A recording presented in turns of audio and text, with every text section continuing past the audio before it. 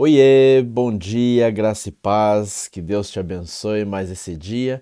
Hoje nós vamos falar sobre Moisés no Egito. Você já ouviu falar de Moisés? Claro que você já ouviu falar de Moisés, com certeza.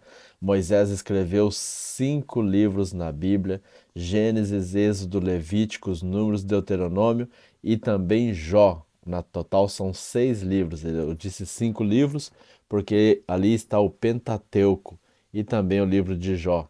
São seis livros que foram escritos por Moisés. Moisés, um dos maiores profetas da história da humanidade. E hoje nós vamos entender um pouquinho sobre como Moisés ele é, colocou os seus tesouros no céu. Nasce então Moisés e na época que Moisés estava ali é, pequenininho, então o faraó, o rei que estava comandando o Egito, ele é, surgiu um novo rei que já não conhecia mais José e agora então esse rei ele manda maltratar os seus escravos, coloca os israelitas como escravos, maltrata eles e obriga eles a abandonarem seus filhos e manda os soldados a matar os seus filhos até dois anos de idade. E Moisés nasce justamente nesse contexto da história. Então, a sua mãe Joquebede, ela faz um cesto e ela coloca o bebezinho ali dentro do cesto e coloca ali no rio Nilo. E é claro, coloca também a sua irmã Miriam para que possa cuidar do bebezinho e ver o que, que vai acontecer.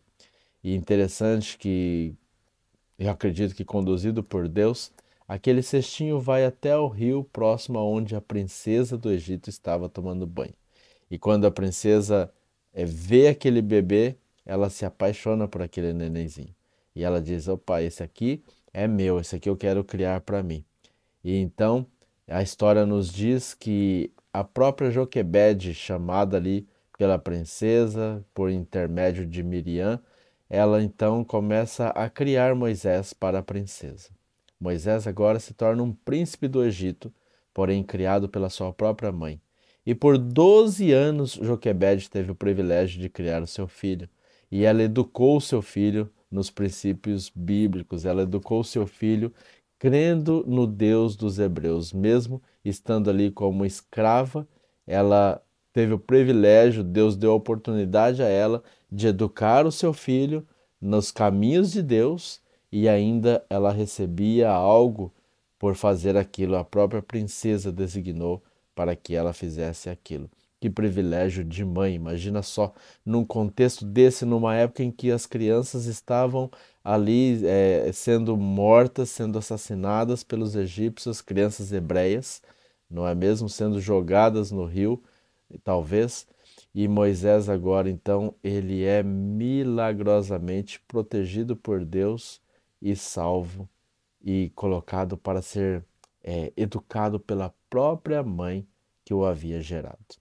Isso é somente bênçãos de Deus. Deus ele tem um propósito na vida para cada um de nós. E foi assim na vida de Moisés. Deus já havia escolhido Moisés para poder tirar o seu povo da escravidão. E assim, durante 12 anos, Moisés ele recebe a educação domiciliar. A sua mãe tem ali o privilégio de educá-lo dentro do lar, dentro de casa e educá-lo nos caminhos do Senhor. Então, quando chega aos 12 anos de idade, agora Moisés vai para as cortes do Egito, para as escolas do Egito, e ali agora ele vai ser educado em toda a ciência, em toda a sabedoria do Egito. É interessante que essa história ela é tão marcante que o próprio Estevão, quando ele vai dar o seu sermão lá em Atos capítulo 7, ele vai mencionar sobre a história de Moisés. E no verso 22, ele diz assim, Atos capítulo 7, verso 22. E Moisés foi instruído em toda a sabedoria dos egípcios e era poderoso em suas palavras e atos. Moisés, ele agora ele cresce em todo o conhecimento, em toda a sabedoria do Egito, em toda a ciência do Egito, e Moisés se torna um príncipe do Egito. E agora então, quando Moisés chega aos 40 anos de idade, Moisés ele coloca no coração que ele deveria libertar o povo de Deus da escravidão, o povo hebreu, porque a sua origem era hebreia, embora ele era um príncipe do Egito. E ele resolve visitar os seus irmãos escravos, os hebreus que estavam sendo escravos. E quando Moisés ele vai visitar ali os seus irmãos escravos, ele vê um egípcio espancando um dos escravos. E ele fica muito nervoso, e como ele tinha colocado no coração que ele seria o libertador do povo de Deus, então ele atua com as suas próprias forças e acaba matando aquele egípcio. Quando chega no outro dia, Moisés volta novamente naquele local e Moisés vê do, agora dois hebreus brigando. Agora não era um egípcio e é, maltratando um escravo hebreu, mas eram entre eles mesmos, dois hebreus estavam brigando. E Moisés vai e repreende eles, fala: Por que vocês estão brigando? Vocês são irmãos. E quando aquele que estava maltratando o outro diz para Moisés assim: Por acaso você é nosso juiz? Por acaso você vai me matar assim como você matou o egípcio ontem? E quando Moisés ouve essas palavras, ele fica temeroso. E agora ele foge. Ele foge para o deserto, com medo de que o rei de que Faraó soubesse que ele havia matado aquele egípcio. E assim é a história de Moisés. E Moisés, ele então, no deserto, ele aprende a ser um homem humilde. Ele aprende a ser um homem totalmente dependente de Deus. Ele havia durante 12 anos aprendido sobre Deus. Ele já conhecia Deus, ele já ouviu as histórias, ouviu a sua mãe ensinando ele sobre as coisas de Deus, Moisés já tinha no seu coração quem era Deus. Moisés já tinha no seu coração que ele deveria temer e adorar a Deus. E mesmo sendo ensinado nas escolas do Egito, Moisés já tinha esse desejo de adorar o único e verdadeiro Deus, porque todos nós sabemos como que era o Egito. O Egito adorava vários outros deuses. O Egito, ele tinha ali a sua é, a sua adoração pagã, mas Moisés nunca esqueceu os ensinamentos que a mãe o havia ensinado. E Moisés agora no deserto, ele então ele passa a se humilhar diante de Deus. Ele passa a reconhecer e meditar na grandeza de Deus cada dia mais. E é ali no deserto que Deus encontra com Moisés, ali no, no deserto do Monte Sinai, aonde Deus aparece então em uma sarça ardente e chama Moisés para poder libertar o seu povo.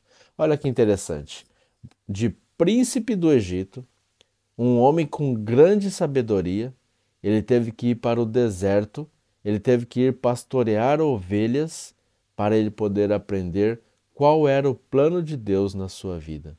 Porque enquanto ele estava como príncipe do Egito, ele se achava, como ele tinha o poder de príncipe, que ele achava que ele ia libertar o povo com as próprias mãos, com as próprias forças. É por isso que ele vai, há 40 anos lá atrás, ele vai e mata aquele soldado egípcio que estava maltratando o escravo. Mas as coisas de Deus são diferentes. Nós, seres humanos, temos a tendência de querer fazer as coisas de Deus do nosso jeito, pela força. Essa é a nossa tendência humana. Mas Deus, ele diz assim: não por força e não por violência, mas pelo meu espírito. E assim foi com Moisés. As forças que Moisés tinha, o status que Moisés tinha como príncipe do Egito, não poderia nunca, de maneira nenhuma, libertar o povo de Deus. Somente o poder do Espírito Santo. E Moisés, então, quando ele passa no deserto pastoreando ovelhas, quando ele sai das cortes do Egito, quando ele tem uma dependência total, total de Deus, é quando ele realmente aprende essa lição e ele entende que somente pela força de Deus que é possível, que era possível libertar o povo de Deus. E assim então Moisés é chamado para libertar o povo. Moisés, ele deixou as glórias da grande potência mundial daquela época. O Egito tinha muito a oferecer àquele homem, àquele jovem. Muitas coisas, muitas riquezas, muitas posses. O Egito era um, um, um país muito próspero, era a potência mundial. O Egito dominava o mundo todo. E Moisés determinou em seu coração servir a Deus, ao Deus Criador, ao Deus dos céus e não aos deuses pagãos.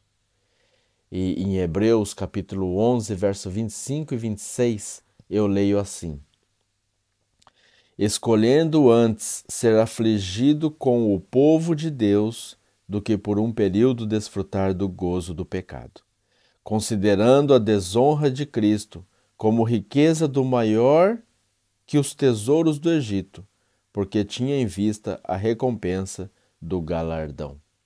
Pela fé, Moisés recusou os bens materiais que o Egito oferecia. Pela fé, Moisés recusou ser chamado príncipe do Egito para poder sofrer as desonras que Cristo sofreu. As desonras no sentido de maltratos, de rejeição das pessoas. E Moisés assim o fez. Moisés fez a melhor escolha da vida dele. Moisés depositou todos os seus tesouros, as suas riquezas, no céu. Moisés não depositou as suas riquezas nesta terra, neste mundo que é passageiro. E então, Moisés, ao fazer a sua melhor escolha da sua vida, Moisés recebeu a vida eterna. É interessante que Moisés, ele sofrendo com o povo, quando ele tira o povo do Egito, ele caminhando no deserto, sofrendo os maltratos, sofrendo as consequências que o Êxodo e Números nos mostra ali, a história de como é, foi a peregrinação no deserto, quando o povo sai do Egito, quando Deus liberta o povo do Egito por intermédio de Moisés. E Moisés sofrendo tudo aquilo, rejeitando, deixando as glórias do Egito para trás. E mesmo assim, quando Moisés chega a um dado momento da sua vida, Deus diz: Moisés, está vendo tudo isso que eu estou te mostrando? Você não vai entrar na terra que eu prometi a esse povo. Você vai descansar. E Moisés então deita e morre. Mas Moisés não imaginava que o próprio Senhor o res ressuscitaria e o levaria para o céu. E Moisés hoje está no céu, mas não é como uma alma vagueando, como se ensinam por aí, porque isso é um ensinamento antibíblico. O próprio Deus vem aonde estava sepultado Moisés e ele ressuscita Moisés. Não é uma alma que entrou e encarnou em outra pessoa, em outra coisa qualquer. Mas é o próprio corpo de Moisés que é ressurreto, que Deus, pelo poder da Sua palavra, o ressuscita. E, e nós vemos que é tão verdadeiro isso que lá no livro de Judas relata que o próprio Satanás veio disputar o corpo com o Senhor. Mas o Senhor o repreendeu. Jesus Cristo repreendeu Satanás ressuscitou Moisés, e Moisés vivo está na eternidade, no céu, para todo sempre, esperando o regresso de Jesus para se juntar a todos os seus outros irmãos, aqueles que obedecem à palavra de Deus. Que coisa linda, que coisa maravilhosa. Pela fé, Moisés deixou as glórias do Egito, e pela fé ele pôde receber a salvação eterna e juntar os seus tesouros nos céus. Que Deus te abençoe, que Deus te ilumine, que Deus te dê um ótimo dia e que possamos refletir na vida desses personagens que nós estudamos aqui, que nós comentamos aqui durante essa semana. Que coisa linda, que histórias maravilhosas, que ensinamentos preciosos que nós temos para podermos entender como acumular tesouros nos céus, para entendermos que as glórias deste mundo são passageiras, que tudo passa. Reinos e mais reinos se levantaram, e todos eles foram tombando um atrás do outro. O Egito, com toda a sua glória, ficou para trás. A Babilônia, a Medopérsia, a Grécia, a próprio o Império Romano ficou para trás. Todos os impérios do passado eles caíram por terra. E não é diferente com os impérios deste mundo hoje. Não vale nada ter as glórias do mundo e perder a vida eterna, perder a salvação que nós podemos receber somente em Cristo. Que nós possamos então meditar nessas coisas e possamos crescer na graça do Senhor.